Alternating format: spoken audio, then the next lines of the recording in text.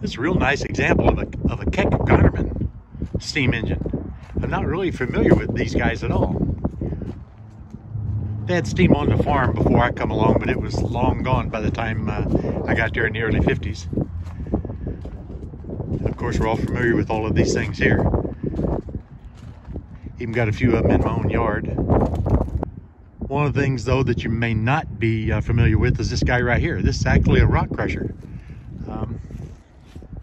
On our property, we actually had a cement, an operating cement mill uh, years ago, but of course before my time.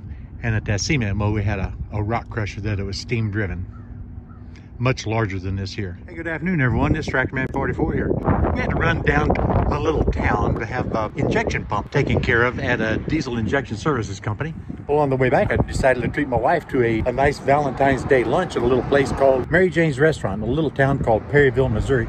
And we stumbled across this this uh, American Tractor Museum, which is really unique. I never even knew it existed. Of course, we haven't been down here in a, you know several years, uh, but it's like I said, several miles south of us, you know. And uh, so we're going to walk in and take a look. See, I already showed you some of the stuff that's sitting on the outside, so we got to go inside and see what we can find. Okay, guys, now that we're on the inside, I can uh, probably tell you this is going to be a long video because just in this one room, I've already seen two dozen things I've never seen before and am totally unfamiliar with. And I tell you what, some of the work on this stuff is just absolutely incredibly uh, incredible as far as fit and finish is concerned. Now the old Twin City, I am familiar with that back there. Greyhound.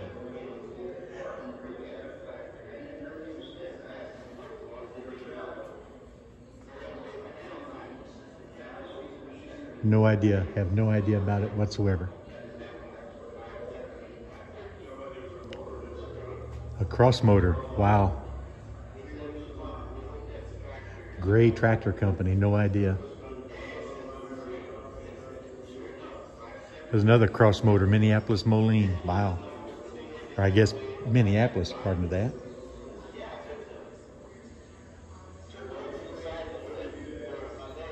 The old case.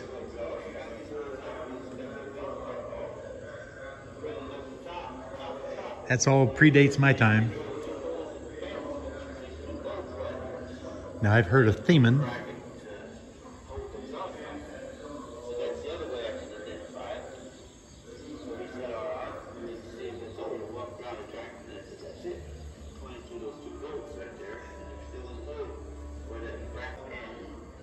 Samson is a familiar, familiar brand, as is the Avery back there.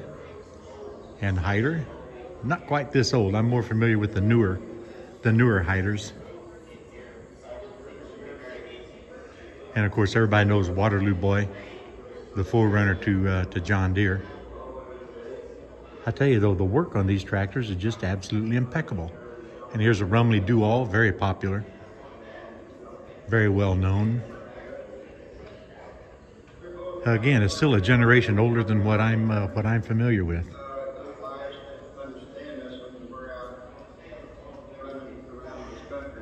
In the distance there, an Illinois Super Drive. That's funny. And then the kids we got, you know, we got Minneapolis Bull. school together with some of his, you know, and they know one another. And I have four. I have a daughter and three. And for the Massey Harris fans out there, uh, my buddy Dave up at RCAF Polar Express, he should really enjoy this old uh, this old Massey Harris. Here's another Huber. Good Lord, another cross motor Huber. Again, I tell you, this this series of tractors definitely predates my uh, my experiences. I've had the good fortune of seeing a good number of these at the antique tractor shows and stuff that I go to, but not these in particular. And of course, Hart Parr predates the Oliver Corporation. There's the front side of that Avery. Really cool. The Illinois Super Drive. Look at this guy here. Indiana.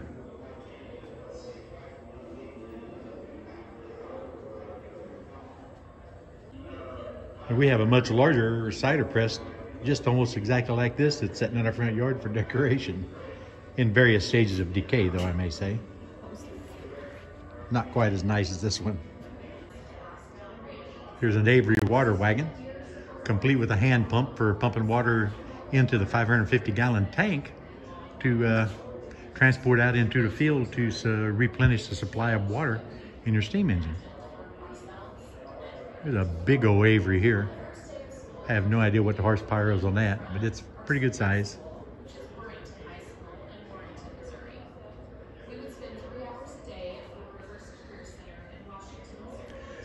Another cross motor case. We had a cross motor case, I don't know what size it was on the farm uh, before I came around. I remember they took it to the, uh, hearing the story about them taking it to the junkyard in, uh, in our local town. And here's a Plymouth, a little Plymouth tractor. Really unique. How's this for a prime example of a Ford 600? Love take that out and plow snow with it. And all work. Never heard of it. Our evenings turned into nights of learning new skills. Cream separator. Ones we had. Every night That's a McCormick Deering. I can tell by the color of it. And here's a Gibson. our instructor, but we I could have picked up a Gibson, pretty much this same size, without a uh, steering pedestal on it for almost nothing uh, about 20 years ago, and I just did not do it. If you look up above, you can see a good selection of old and newer pedal tractors for the kids. I guarantee that's an International Harvester freezer up there, chest type freezer, guarantee it is. That'll be an old R22 chest type freezer. R22 was used before they started using R12 on some of those. What's that? Ah, look at here.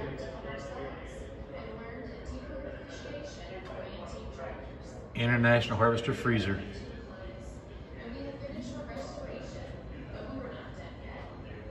Man, Massey Harris pacemaker. Awesome.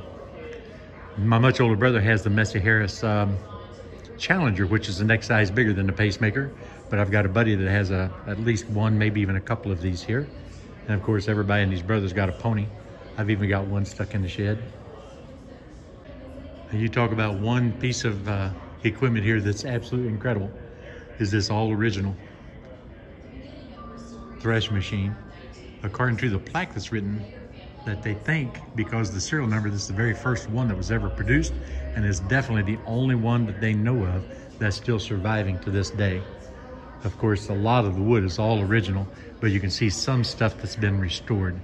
You can't hardly get something this old without a little bit of rot or something happening somewhere along the line. But this is absolutely incredible from the from Cape Girardeau, as a matter of fact. It's a Ford uh, Ford Model T or a Model TT truck. If you notice, everything's pretty much wood. Um, I don't know what year it is, but if you look, you can see wooden spokes on the wheels. Uh, more than likely, it's the whole cab is made out of wood. Um, this might be a little more modern than the, look at the row of coils right there. Little buzz coils, one for each cylinder in the engine. We had a 1921 white out on the property that our grandfather bought brand new, and it was totally wooden. It actually had wooden felloes on the steering wheel, had steel spokes, but wooden felloes and a wooden steering wheel. And of course, the cab was entirely wood, as well as the uh, the spokes on the solid rubber tires, very similar to this. 1925. The missus said it's a 1925, so it's four years newer than the uh, than the old white we had. For the kids, another row of a combination of new and old pedal tractors. And you don't find a prettier example of a Minneapolis Moline than this guy right here. This thing is absolutely impeccable. The missus said she'd she'd let me have that in my garage, in her garage. I guess she'd. She said she'd park her Mustang outside, let me put that in. Twin City. Of course, that's Minneapolis Moline. I have no idea what this is, but it's called a Speedex. 1941. 1941 Speedex. Pond. Built by Pond Garden Tractor Company. Huh. built by Pond Garden Tractor Company. Interesting. Look at this six cylinder, six cylinder flathead in this Eagle 6. Now I have no idea what that is either. 1936. No, wait a minute. This one's 1938.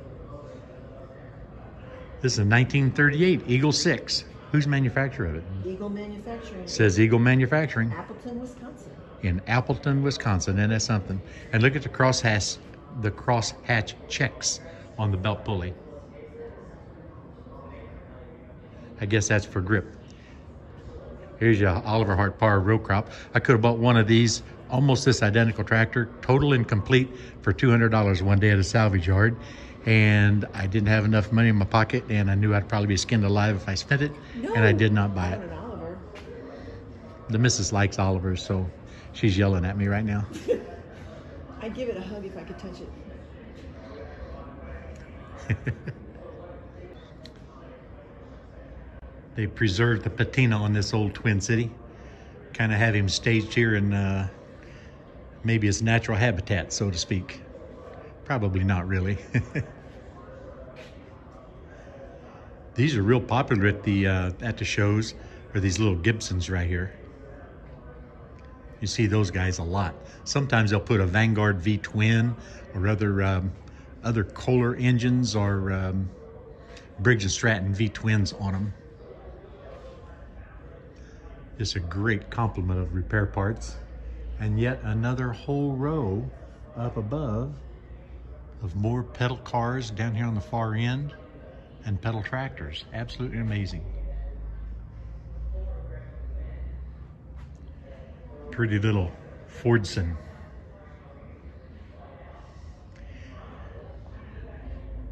Now, if the missus was to come over here and take a look at this Silver King, she would probably um, probably throw a fit right there. She's been looking for a Silver King to buy for me for years and years. And here's one right here, just not for sale. Know, it's gorgeous. Would you buy that for me? Yeah. Ooh, I got a commitment. She said she'd buy it for me. And take a look. Here's a little um, international throttle governed engine. I think I've got two of those sitting in the shed. Of course, the missus don't know about that. Graham Bradley, one of the smoothest running uh, six cylinder engines. Uh, kind of like the Massey Harris uh, 101 Supers and the 101 um, uh, Seniors. Very similar engine, if not the same engine. I, I don't really know. This, Well, the missus called my attention to the little grasshopper tractor I here. was going to ask you if that was a grasshopper. That's the little grasshopper. Allis Chalmers G. That's got an N62 Continental engine in it, the same engine as the Massey Harris Pony, with a few basic uh, casting changes or des design differences because this is a rear engine mount on this guy here. And look at this old case. Good Lord, is that not beautiful with that cast iron grill? As well as this co-op. Now, I got a story about a co-op. I sat on my rear a little bit too long. A buddy of mine gave me one that had been abandoned on property that he had bought and had been there for five or six years and I never got around to going over and getting it. And one day I hooked onto the tr tractor and the winch and went on over there to pull it up out of the woods. Went down behind my buddy's house and unbeknownst to him, it had been salvaged, stolen, retrieved, recovered, maybe even hopefully restored by somebody else. I missed my opportunity to pick up a co-op. That's entirely my fault.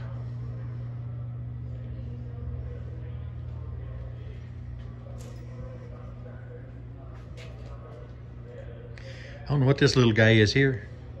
Sure is cute though. Whole row of tiptoe spades down there, you know. Joe shoe last breast drill. I've got a number of these in the shop. I, be, I even have one of those sitting on the front porch. Wide complement of hand tools. Here's your hay fork. That would run the length of the trolley in the middle of the hay barn, drop down off the end out of that peak into your um, and stab that fork into your loose hay and you'd pull it up and then transfer it through the tracking system all the way back into the barn and drop it. Okay, now for all you guys out there do a lot of logging, Just think of what you could do with this uh, with this winch right here. Man, oh man, now that's a setup. Solid rubber wheels on the back of this guy. And what a winch. Good Lord. I do not recognize the tractor. We're going to find out what it is here in a second.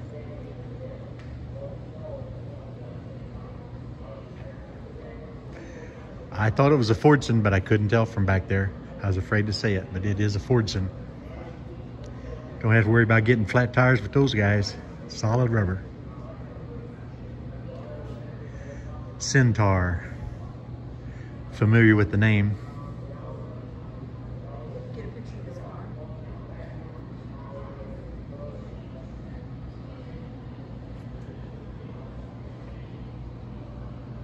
That is really cool. Now, only a few select viewers is going to recognize this guy right here. This is a this is a Kaiser. Uh, I actually had to look at the tag myself. I did not know what it was. It's not the style of Kaiser that I'm familiar with, with this uh, lay down tailgate similar to a pickup truck. I guess you could haul your bale of straw and your calf right along with you to town or whatever, you know. That's really pretty cool. Look at the bend. Uh, the missus is pointing out the odd shaped tailgate. Man, that is really amazing. I'm totally unfamiliar with this guy here. If there's any of you guys out there that recognize this or, or have your own personal experiences, let me know. When she asked me to take a look at it, I said, oh, hey, what is that, a Hudson? You know, from the back end, I thought, well, then maybe that was a Hudson, but it sure is not.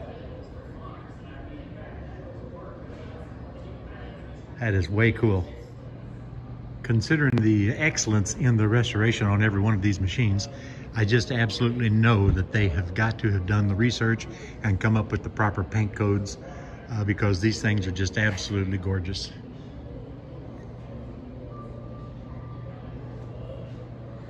An old mogul.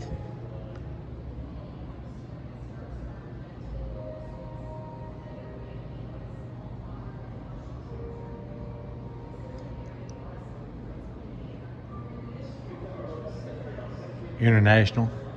The tag says 1917 to 1922, so this is roughly a 100 year old International Junior. Really cool. This is a little bit newer when they got into the Titan series, larger horsepower, much heavier weight.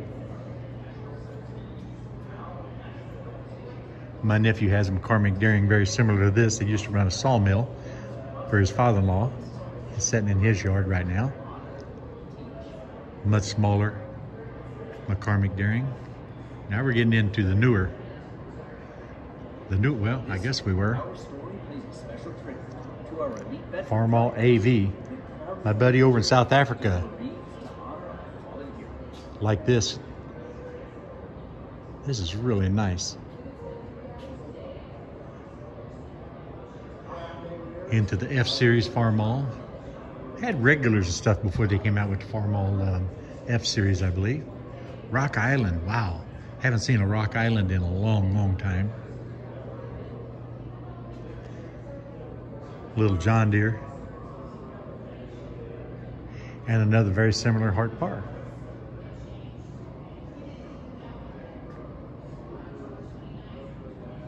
This is about the time that uh, Oliver and Hart Parr were, uh, were combining I've actually got a set of cultivators, this exact set of cultivators and the cultivator mounts uh, sitting down in the woods off of a newer Model 70.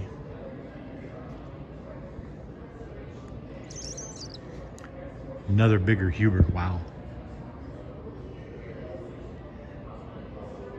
Now this is one I've never seen, the Go Tractor, General Ordnance Company. This here is really cool. This is a very first four-wheel drive Massey Harris. This is a GP, general purpose um, four-wheel drive. These guys were kind of weird because they were front heavy.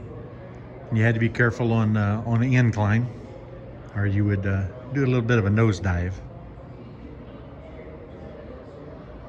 And of course, everybody knows the venerable Oliver 77. I've got a couple of these myself. I got two 77s and a couple of 70s, and even a 66 Orchard. Really smooth running six cylinders. Wow, such a nice case, 730. And my gosh, I just looked up and saw another whole row, two shelf worth of more pedal tractors.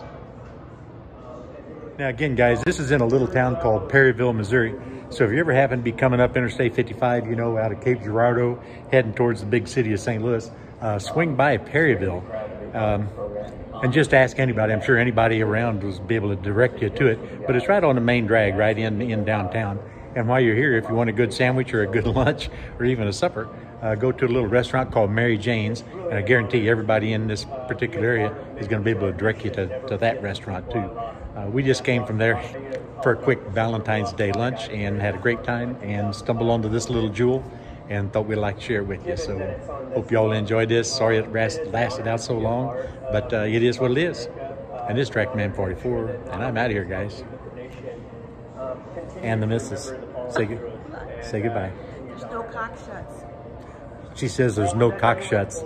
Thumbs down. At least there was a Silver King, though.